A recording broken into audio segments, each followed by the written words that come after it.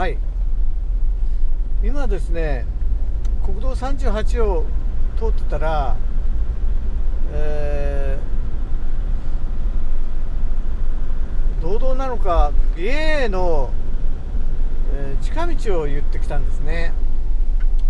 30キロぐらいなんですよ。でこれは自分は通ったことないような気がする。途中からは通ったことありありそう。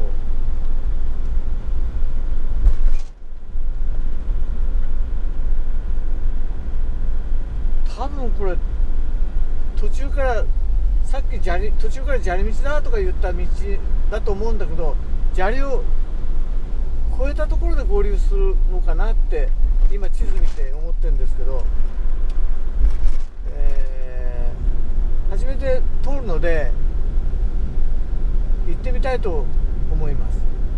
山道なんで熊に会えるかもしれないし、まあ、そんなことですね来ました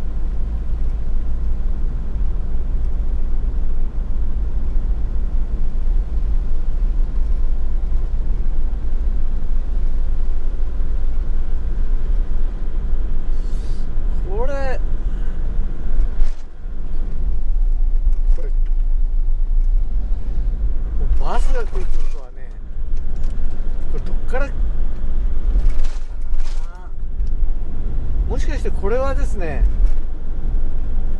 自分通ったことあるんかな。どどういう通り方したかっていうとあ採石場だあの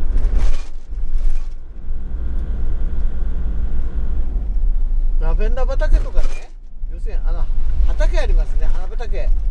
あっちの方に抜けることができる道。だからバスの運転手もその近道知ってる人は来るとこの道をですね。まあそんなことで、えー、熊出没注意になっています。